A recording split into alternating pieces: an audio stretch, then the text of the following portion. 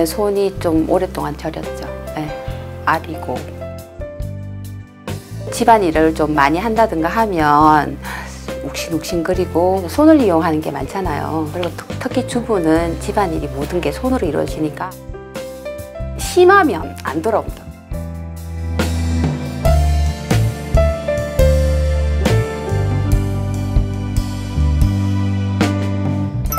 어때 증상 어떠세요? 훨씬 많이 나아졌어요. 주무시는 것도 좀 편해지셨나요? 네, 많이 아, 나아졌어요. 힘 들어오는 건 어때요? 힘도 훨씬 예. 본격적으로 아프게 그 전부터 아팠지만 본격적으로 아프게 된 거는 5, 6년 전부터 갱년기가 오면서 좀 더 심해진 것 같아요.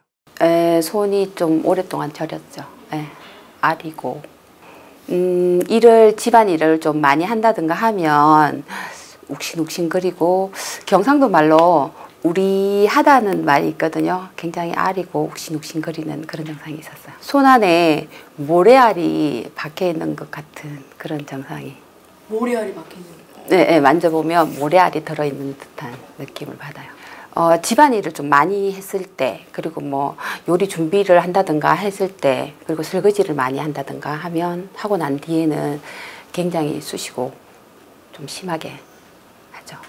사실은 모든 사람들이 마찬가지로 손을 이용하는 게 많잖아요. 그리고 특- 특히 주부는 집안일이 모든 게 손으로 이루어지니까 제가 한의원 가서 침도 맞았고 했는데 나아지는 게 별로 없더라고. 그때만 그렇고. 밤에 잘 때도 이게 아리고 하니까 엉덩이 밑에 손을 넣고 이렇게 제가 압력을 주면서 이렇게 안 느끼려고 좀 애를, 좀 쓰고 그랬죠. 사실은. 마지막 이제 수술하기 전, 전에는 좀 그런 게 많죠. 그리고 가운데 손가락이 어, 우리가 너무 추운데 가면 이게 손이 이게 그온 상태처럼 이게 감각이 좀 둔하잖아요. 그 상태가 지속됐어요. 사실은 제가 좀 심각한 상황이에요, 지금. 수술을 했다고 해도 그 오른쪽 같은 너무 심해서 100% 돌아오기가 힘들다고 선생님이 말씀하실 정도로 심했는데 좀 안이하게 생각했던 것 같아요. 괜찮아지겠지 이런 생각. 그때는 심각하지 않았는데 치료를 조금 놓친.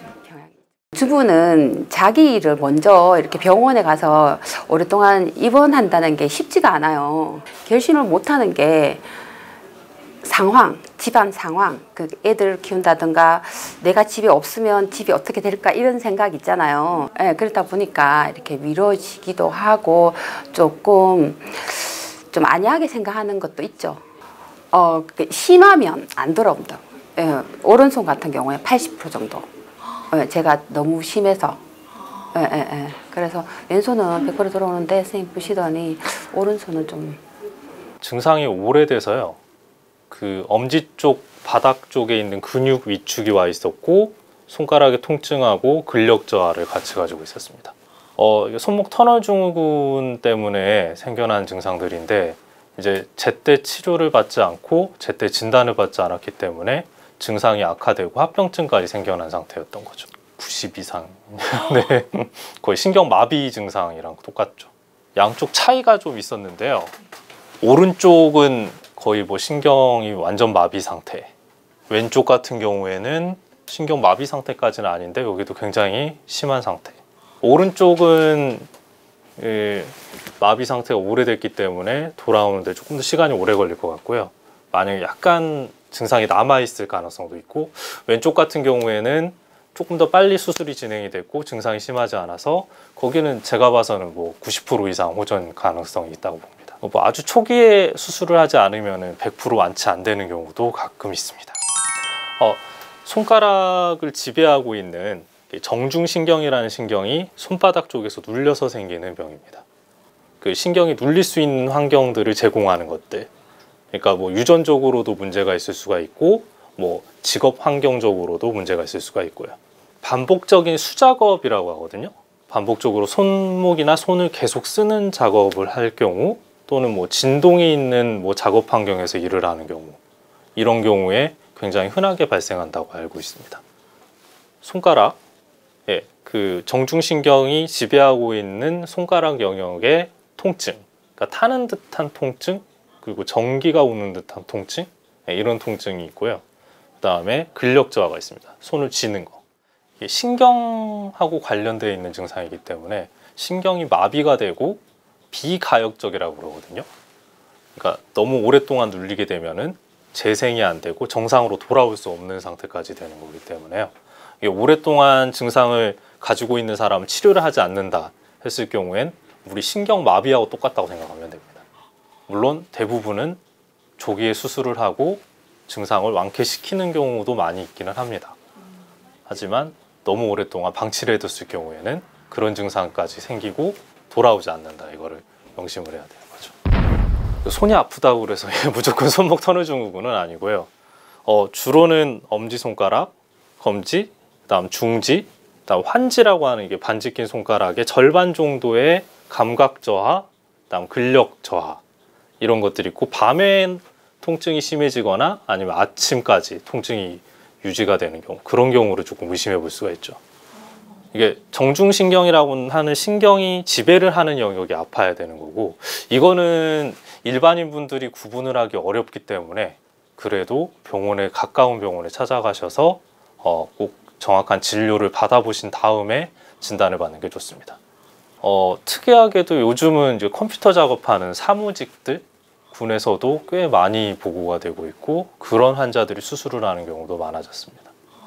어, 이게 남성보다는 여성분들이 훨씬 유병률이 많기 때문에 그러니까 뭐 논문에 따르면은 그 에스트로겐하고도 좀 관련이 있다 뭐 이런 논문들이 많이 있어서 여성 환자들이 압도적으로 환자는 더 많습니다.